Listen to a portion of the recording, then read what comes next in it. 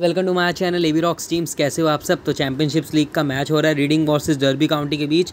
एक घंटे उनचास मिनट के बाद तो लिटरली यार रिस्की मैच है। बड़ा अच्छा लग रहा था कल तक जब एनालाइज किया तो पता चला कि ये तो भाई हाईली रिस्की मैच है। बट कोई बात नहीं, हम लोग हार नहीं मानेंगे।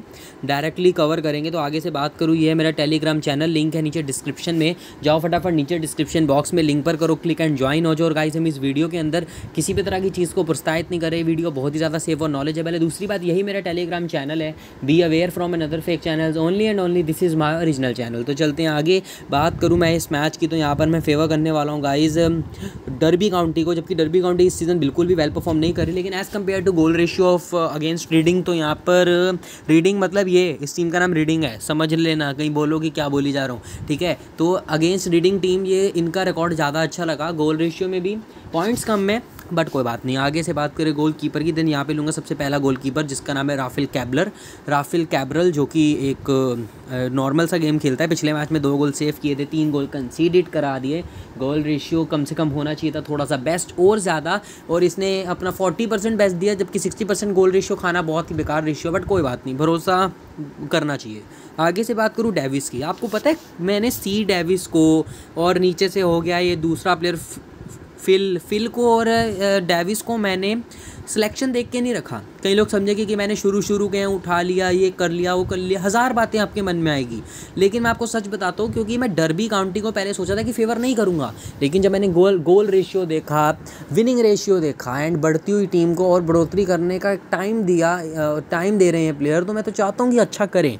और ब्र्यून की बात करूँ तो यहाँ पर मैंने नैथन बायरन को ले लिया। बायरन की जगह फ्रॉसित नहीं ले रहा, क्योंकि वो थर्ड डिफेंडिंग करेगा। अगर फिल खेलता है तो फिल नहीं खेलता तो हमारे पास एक चांस है।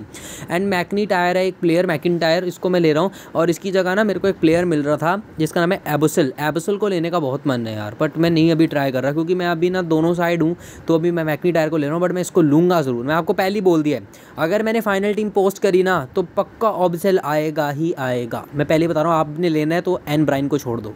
आगे से बात करें ड्रिंक वाटर की।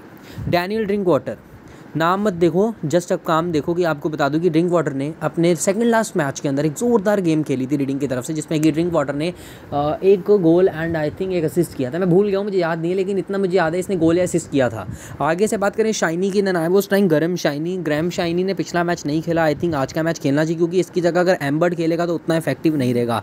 टी डाले की बात करूँ तो टी डैले को यहाँ पर मैं ले रहा हूँ। बशीरू को खेलना चाहिए। टी डैले बशीरू अगर खेलेगा तो गोल होने का एक चांस रहेगा, क्योंकि टी डैले बशीरू की गेम बहुत अमेजिंग है अमेज खेलता है। जे जे नाइट की बात करूँ जे नाइट अपने लास्ट के थ्री मैचेस के अंदर लिटरली फ्लॉप हुआ था एंड बहुत बेकार खेला था, लेकिन सेकंड लास्ट मैच में इसको एज अ सब्सिट्यूशन लाया गया था तो उसके अंदर वेल परफॉर्म किया, उसके बाद ये फ्लॉप ही होता गया। तो जे जे नाइट की जगह मैं एक और या भी जे नाइट मैंने सिर्फ़ सेव किया है, बेकार है जस्ट मैंने सेव किया इसको मैं चेंज करूँगा, अब भी नहीं, पहले लाइनअप्स आने तो मैं स्ट्राइकिंग ऑप्शन में थोड़ा इफ़ेक्ट इफ़ेक्ट इफ़ेक्ट देखना किसका ज़्यादा रहेगा आगे से बात करें कैरोल की कैरोल की वापसी हो चुकी है, शायद ये खेल सकता है आज के मैच में। लॉवरेंस अपनी टीम का पेनल्टी टेकर है सो आपने लॉवरेंस को नहीं छोड़ना।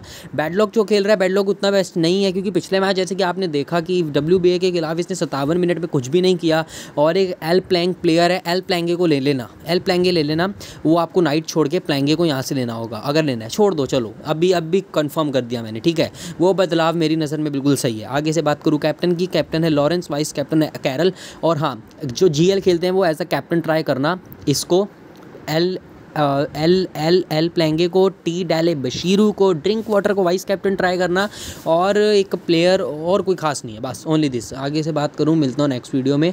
अभी के लिए बाय यही मेरा कॉम्बिनेशन है. जल्दी मिलता हूँ मैं आपको नेक्स्ट वीडियो के अंदर.